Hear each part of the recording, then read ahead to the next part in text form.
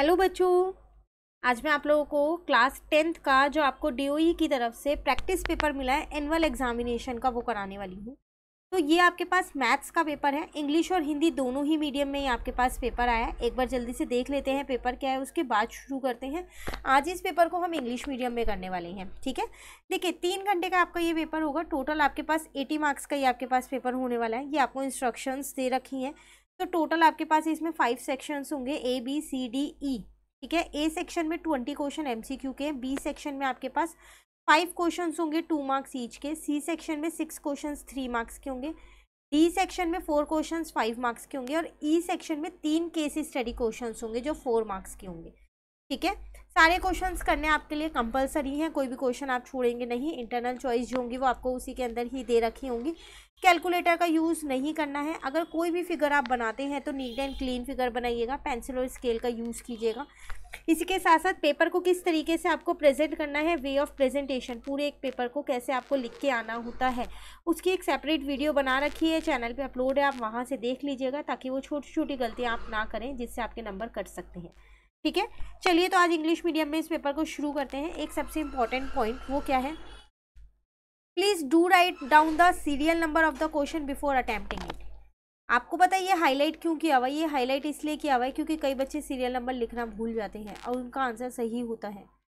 तो serial number लिखना बहुत ज़्यादा ज़रूरी है जो भी क्वेश्चन आप कर रहे हैं। जैसे कि अब आप सेक्शन ए कर रहे हैं तो आप ऊपर सेक्शन ए लिखिए। जितने क्वेश्चन आप सेक्शन ए के करेंगे, उतने क्वेश्चन आप कीजिए। देन अगर आपको आगे नहीं आता तो आप सेक्शन बी शुरू कर सकते हैं, पर ऊपर हेडिंग और उसके बाद क्वेश्चन नंबर ज़रूर मैंशन करेंगे, ठीक है? चलिए शुरू करते हैं। फ़र्स्ट क्वेश्चन में क्या कह रहे हैं? If the H C F of sixty five and one one seven is expressible in the form sixty five m minus one one seven then the value of m आपसे कह रहा है, अगर इन दोनों का एच सी एफ़ आप इस form में रिप्रेजेंट करें तो इस एम की वैल्यू बताओ क्या होगी? पहले इन दोनों का एच सी एफ़ निकाल के देखते हैं एग्जैक्टली इन दोनों का एच सी एफ़ आएगा कितना, है ना? क्वेश्चन नंबर वन हम यहाँ पर कर। रहे हैं तो सिक्सटी फाइव के अगर मैं फैक्टर्स यहाँ पर देखूँ तो ये थर्टीन की टेबल में फाइव पे आता है, देन फाइव वन जा हो जाएगा। वन वन सेवन के अगर मैं यहाँ पर देखूँ तो ये थर्टीन की टेबल में आपके पास किस पे? नाइन पे आता है, ठीक है? देन थ्री थ्री जा थ्री वन जा एच सी एफ़ मतलब होता है जो कॉमन होता है तो दोनों में कॉमन थर्टीन है तो एच सी एफ़ मेरा थर्टीन आ गया। इसको मैं इसके इक्वल रख सकती हूँ ना, क्योंकि ये भी एच सी एफ़ की फॉर्म बता रखा है तो sixty five m minus one one seven is equals to में थर्टीन हो जाएगा। तो sixty five m is equals to में यहाँ पर आ जाएगा थर्टीन प्लस में वन वन सेवन तो sixty five m is equals to में आ गया यहाँ पर वन थर्टी एम की वैल्यू यहाँ से निकाल लोगे आप वन थर्टी अपॉन में सिक्सटी फाइव। सॉल्व करोगे तो आपका आंसर टू आ जाएगा। क्लियर है? चलिए नेक्स्ट क्वेश्चन नंबर टू पे आते हैं। यहाँ आपसे क्या कह रहे हैं?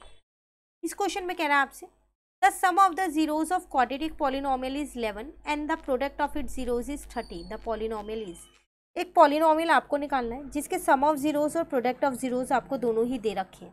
तो आपको पता है कि पॉलिनोमियल निकालने का क्या फॉर्मूला होता है? एक्स स्क्वायर माइनस यहाँ होता है आपके पास सम ऑफ़ जीरोज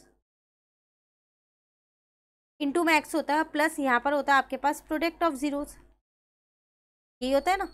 तो देखो x square sum of zeros आपको इलेवन दे रखा था eleven x plus product of zeros thirty था थर्टी यही आपका आंसर है।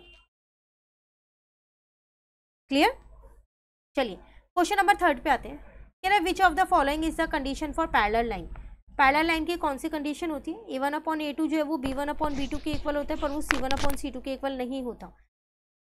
तो इसका आंसर आ जाएगा ए क्लियर है?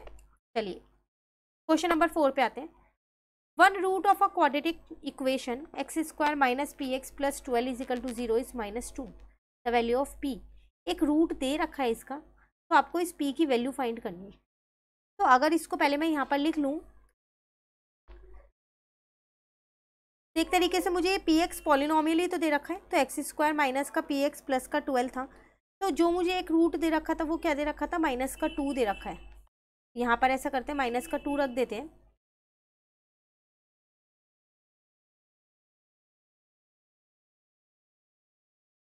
तो ज़ीरो इज़ इक्वल्स टू यहाँ आ जाएगा फोर प्लस का टू आ जाएगा। ठीक है? अब पी ऐसे ही रहेगा। सॉरी प्लस का ट्वेल्व हो जाएगा। तो सिक्सटीन प्लस का टू पी हो जाएगा। माइनस का sixteen is equal to two p हो जाएगा। पी की वैल्यू यहाँ से आ जाएगी मेरी माइनस एट क्लियर है?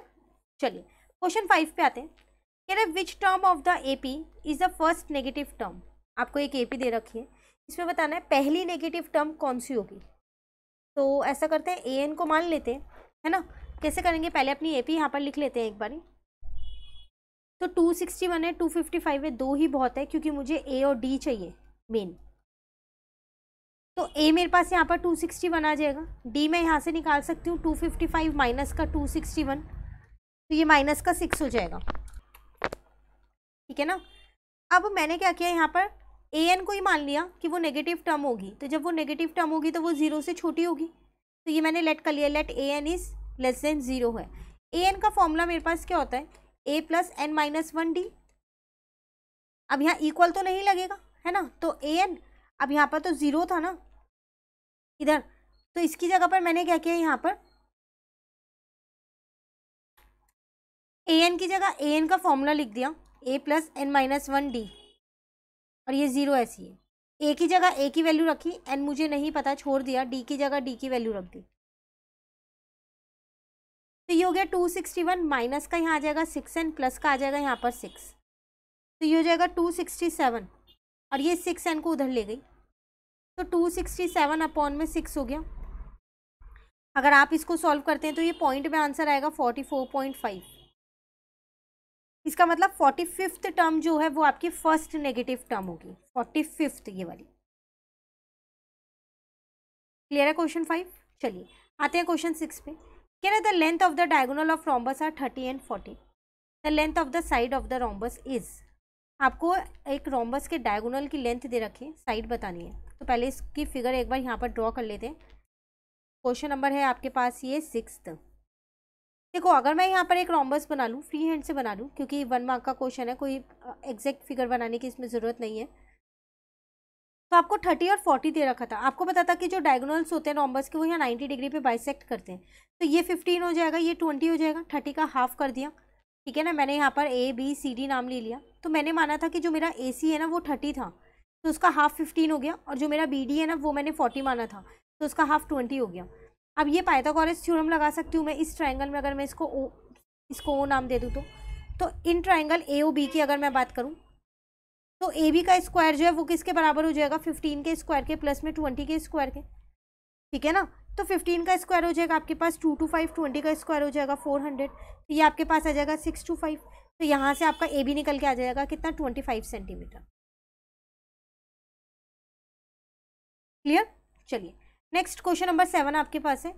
In figure triangle A B C is circumscribe a circle the length of A B in centimetre is कह रहा है एक ट्राइंगल है, उसके अंदर एक सर्कल है। तो ए बी की लेंथ बताओ। ए बी मतलब जो नीचे दे रखा है। आपको पता है कि according to theorem ten point two जो एक्सटर्नल पॉइंट से टेंजेंट डलती है, उनकी लेंथ इक्वल होती है। तो अगर मेरा बी डी सिक्स है तो ये भी सिक्स होगा। है ना? और सी डी फोर है तो सी ई भी फोर होगा। अब देखो, मुझे पूरा ए सी ट्वेल्व दे रखा है। इसमें से मैं ई ए अपना निकाल सकती हूँ ट्वेल्व में से फोर को माइनस करके तो वो एट आ जाएगा। अब जितना ई ए है, उतना ही एफ़ ए होगा एट अब ए बी क्या हो जाएगा? इन दोनों को प्लस कर दूँ सिक्स प्लस एट तो मेरा आंसर कितना आ जाएगा? फोर्टीन क्लियर चलिए नेक्स्ट क्वेश्चन नंबर एट पे आते हैं। यहाँ आपसे क्या कह रहा है इस क्वेश्चन में? The line segment joining the points P and Q is divided by the y axis in the ratio आपको एक लाइन सेगमेंट दे रखी है, उसके पॉइंट्स आपको यहाँ पर दे रखे हैं। कह रहा है, वो डिवाइड किस रेशो में कर रहा है? अगर वो वाई एक्सिस पे है divided by the y axis पहले अगर मैं ये लाइन यहाँ पर एक बार ड्रॉ कर लूँ क्वेश्चन नंबर एट की। ठीक है तो मुझे दो पॉइंट्स दे रखे थे, एक माइनस थ्री और टू था पी के कोऑर्डिनेट्स तो यही दे रखे थे क्योंकि एक बार चेक कर लेते हैं फाइव और सेवन था।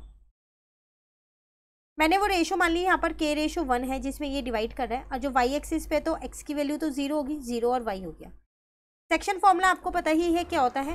तो अगर हम एक्स का सेक्शन फॉर्मूला देखें तो वो होता है हमारे पास m one x two plus में होता है हमारे पास एम टू एक्स वन और अपॉन में होता है हमारे पास m one plus m two ठीक है? तो ये हो जाएगा zero is equals to k into में फाइव प्लस यहाँ पर आ जाएगा वन इंटू में माइनस थ्री अपॉन में आ जाएगा k plus one clear k plus one left side पे जाएगा ज़ीरो बन जाएगा। तो ये हो गया फाइव के माइनस का थ्री तो five k is equals to में थ्री आ गया। के की वैल्यू कितनी आ गई आपके पास? थ्री अपॉन फाइव लेकिन आपको शायद यहाँ पर रेशो बतानी थी इस क्वेश्चन में, है ना?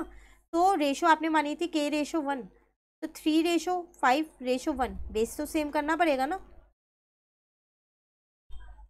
तो आपकी रेशो कितनी आ गई? थ्री रेशो फाइव क्लियर है? चलिए नाइन्थ क्वेश्चन पे आते हैं। कह रहे given that in triangle ABC angle B is 90 degree tan A is equal to one upon में root three then the value of sin C tan A की value दे रखी और साइन सी की निकालनी है।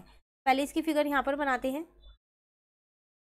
तो मैंने यहाँ पर एक राइट एंगल ट्राइंगल बना लिया जिसमें वो कह रहा था कि बी वाला जो है वो मेरा नाइन्टी डिग्री पे ठीक है? मुझे क्वेश्चन में दे रखा है यहाँ पर टेन ए वो कितना दे रखा है? वन अपॉन में रूट थ्री जब भी टिग्नोमेट्री हो हमेशा पंडित बद्री प्रसाद हर हर बोले, ये आपको ज़रूर लिखना है। तो ये आपको एक तरीके से पी अपॉन बी दे रखा है। तो टेन ए यहाँ से देखूँ तो मेरा पी ये होगा वन दे रखा है और बी मेरा ये होगा रूट थ्री क्योंकि ये तो मेरा एच होगा सामने वाला नाइन्टी के सामने वाला। मुझको निकालना क्या है? साइन सी निकालना है। तो साइन सी मतलब हो जाएगा मेरे पास पी अपॉन में एच हो जाएगा। यहाँ से देखना है। तो पी तो मुझे पता चल गया, थीटा के सामने वाला होता है रूट थ्री एच तो नहीं पता। पहले एच निकाल लेते हैं इसमें।